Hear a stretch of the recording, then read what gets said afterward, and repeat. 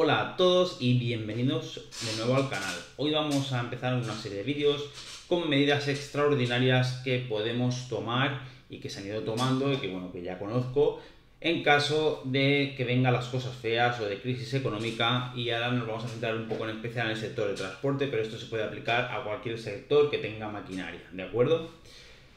Esto yo lo he vivido, yo lo he visto hacer, o sea, no es que sea algo nuevo. De hecho, en mi empresa Transporte también lo aplicamos en su momento con la anterior, anterior crisis. Y es básicamente que vendes lo nuevo para sustituirlo por vehículos viejos, ¿de acuerdo? Es una medida extraordinaria que hay que hacer solo en un caso de que no quede más remedio y que jode bastante porque tú tienes tu flota de vehículos, en este caso era una pequeña empresa de minibuses, tenían cinco minibuses, todos Mercedes Sprinter como el que vemos en, pantalla, parecidos, de, este, bastante nuevos. Este Sprinter ahora mismo vale unos 40 y pico mil euros, pero en esa época eh, aún va, que vale un poco más. Estoy hablando de hace bastantes años. Eh, pensad que la crisis de 2008 vino en 2008, pero realmente España tocó fondo fuerte, fuerte 2013, 2014, por ahí, y ahí la cosa empezó a apretar de forma complicada, ¿vale? Las deudas y eso la gente le pasaba por encima y las empresas estaban ahogadísimas. Entonces, eh, la medida fue la siguiente, básicamente, esta empresa tenía 5 Mercedes Sprinters, cada Mercedes Sprinter pues a lo mejor estaba valorada más o menos unos 50.000 euros, no me acuerdo muy bien, eh, costaba venderlas, no era fácil, y, pero las deudas le comían, los gastos le comían, el mantenimiento era muy elevado de las Mercedes Sprinter, había que pasar por la casa casi siempre y con los problemas que tenían, pues por ejemplo, eso eran vehículos de 19 a 22 plazas, consumo alto, gran peso, eh, doble rueda trasera, todo lo que recambio Mercedes, entonces eh, la cosa se complicaba bastante, ¿no? Al final, bueno, pues hablando con la empresa, pues vieron que, eh, coño, cuál es su, su grosor de clientela. De 1 a 10 personas más o menos. Eso es el tope que se suele llevar siempre. Y luego hay viajes sueltos que los realizaban para otras empresas, porque ellos tenían y tienen su página web propia, donde recibían transfers, y luego trabajaban con otras empresas y tal, pero su grosso era prácticamente hasta 9, 8 plazas, 10, 11, y luego hacían viajes de 16, 17, 20, pero eran como más esporádicos. O sea, prácticamente el 80-90% de las veces el vehículo iba medio vacío. Entonces, eh, la cosa empezó a apretar mucho, los números no salían y se tomó esta decisión y pues vamos a coger y sustituir lo nuevo por lo viejo. ¿Es una bajada en la calidad de la empresa? Sí, y grande. Pero si tenemos que decir entre quebrar e irnos a tomar por saco o hacer un movimiento que nos permita eh, sobrevivir, pues hay que hacerlo. Entonces se estudió qué alternativa iría mejor, qué era lo más económico del momento. Y se revisaron Renault Masters, se miró todo. En esa época las Renault Masters iban muy caras, aún no eran muy viejas, no había modelos muy antiguos, más que la generación anterior cuadrada, pero eso ya estaba muy desfasado. Aparte, muchas no llevaban aire acondicionado, estaba descartadísimo este tema. Y las Renault Master de 2001-2002 en adelante eh, iban muy cazadas, eh, había muy poquitas. Eh, también la Master es un aparato de 16 plazas. Eh, con un consumo bastante contenido, están bastante bien, eh, mucho recambio, facilidad, cualquier taller te la repara, entre comillas, no es como una Sprinter que siempre quiere la casa. Entonces, recambio Renault, que es muy común también. Entonces, ahí estaba la cosa complicada.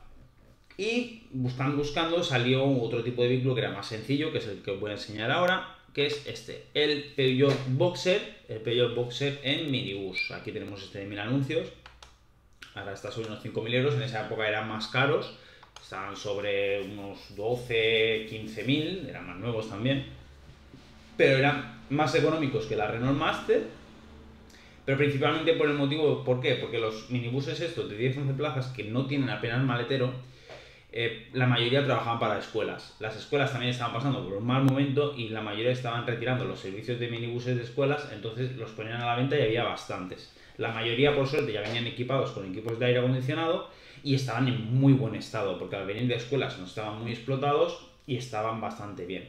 Claro, entonces se tomó la decisión de probar. ¿Qué pasa? Cuando tomas esta decisión de cambiar un vehículo que tiene 3, 4, 5 años a por un vehículo que tiene 10 años o más, eh, hombre, una, bajas la calidad de la, flota de la empresa y dos, aumenta el riesgo de las averías. También es verdad que las sprinters empezaban a estar ya bastante tralladas, llevaban bastante trabajo y, y empezaban a tener bastantes averías y complejas, no averías baratas. Entonces se decidió eh, quitar una Sprinter, se vendió, no recuerdo muy bien, pero sé que cuando vendieron la Sprinter, la respuesta fue, joder, con lo que he vendido la Sprinter puedo comprar cuatro Peugeot Boxer de estas. Entonces se decidió hacer el cambio y se probó con una y también, claro, al reducir las plazas, pues perdías un poco de opciones hacer transfers de, más de 11 plazas. El primer problema que, se topó con este vehículo es el maletero, que apenas tiene. Aquí vino el primer problema, la gente tiene un gran maletero, eh, la Peugeot Boxer no.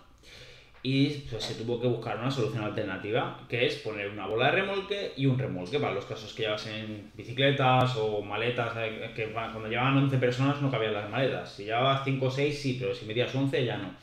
Entonces se optó por el remolque. Los remolques eh, se cogieron remolques viejos de caballos y se, se, apañaron para que hiciera el servicio. De hecho, esto se copió después en todas las empresas de transporte de transfers. Todo el mundo compraba remolques de caballos porque no valían nada en esa época. Estaban en crisis, la gente que tiene caballos también tiene crisis. Es un lujo y se lo quitaban de en medio. Entonces, todos esos remolques de caballos se limpiaron, se adaptaron y acabaron siendo remolques para, para minibuses.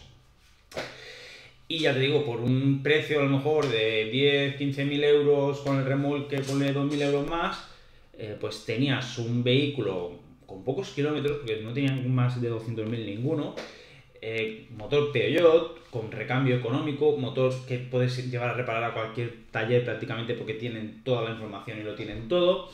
De hecho, al ser también más pequeñas, puedes meterlo en muchos talleres. Y, y se empezó así, y se cogió y se cambió esta primera furgoneta por esa Peugeot.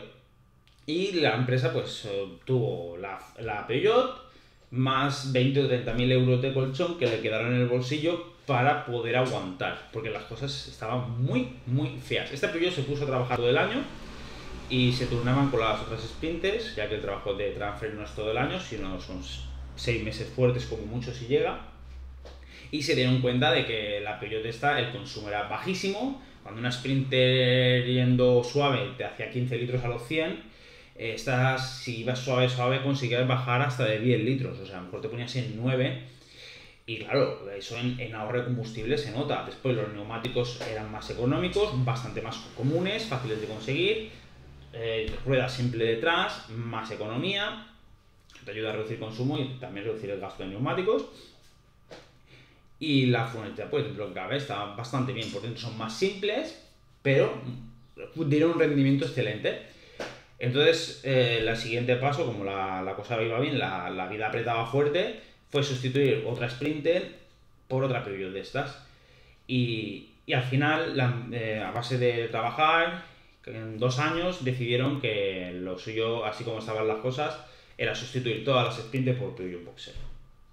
Y así hicieron, se sustituyeron todas y al último siempre quedó una por los transfers de estos de, de más de 11 plazas, pero al final tomaron la decisión de que rentaba mucho más hacerlo así que los márgenes eran muy pequeños y que la Sprinter, si no trabajaba a pleno rendimiento, mmm, daba pérdidas.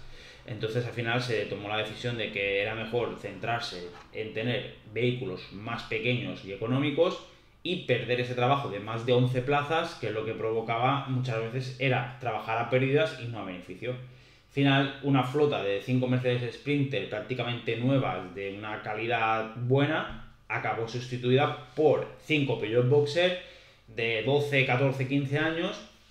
En alguna, de hecho siguen dando vueltas por ahí, o sea que ya deben tener sus 20 años.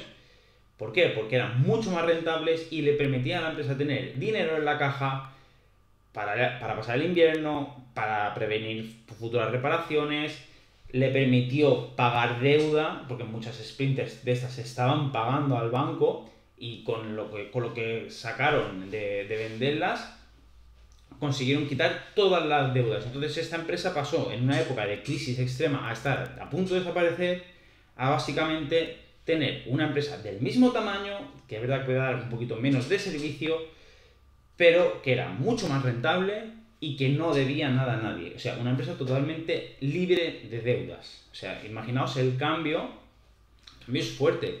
Pero también el cambio de la mentalidad es fuerte, porque a veces es más la mente que el negocio en sí. Porque la mente te dice, no, es que la Mercedes es mejor, que la gente que va a venir, que vas a transportar. mm, sí, pero la pregunta fue, ¿pero tú la gente que llevas en, en tus minibuses pagan un servicio especial, pagan un exclusivo, un transfer exclusivo? ¿Tú les dices que porque van a venir con tu transfer les vas a poner una Mercedes Sprinter? ¿O no? ¿O simplemente pagan un transfer del punto A al punto B y ya está? Porque si, si estás cobrando exclusividad, entiendo que tengas vehículos de alta gama. Pero si tú estás luchando por precios bajos, que, que ni hay exclusividad ni hay nada, eh, no tiene sentido que les pongas una Mercedes Sprinter porque la persona coge el transfer por internet y lo que quiere es que lo lleves del punto A al punto B de forma cómoda, con aire acondicionado, pero le va a dar igual que vengas con una Peugeot o que vengas con una Mercedes Sprinter, porque al final si la Peugeot está decente, le va a llevar al mismo sitio y si tiene aire los asientos son cómodos, es lo mismo. Al final, si estás luchando por precio, no puedes estar poniendo calidad alta gama a precios bajos. O tienes una empresa de transfer de lujos o tienes una empresa de transfer normal y punto. Tampoco hace falta que lo lleves como borregos, no pongas un camión, ¿no? Pero ya me entendéis. Y eso es, son medidas extraordinarias que normalmente no se suelen tomar, pero que a veces uno tiene que cambiar la mentalidad y tomarlas, porque es o eso o desaparecer. Y os digo muchas veces que la quiebra en una empresa así, si, te, si estáis como autónomos sobre todo, os busca la ruina para siempre. Entonces vale más a veces hacer un poco de cambio de chip y hacer un movimiento así. Pero también es importante que al hacer un movimiento así hay que tener en cuenta una cosa.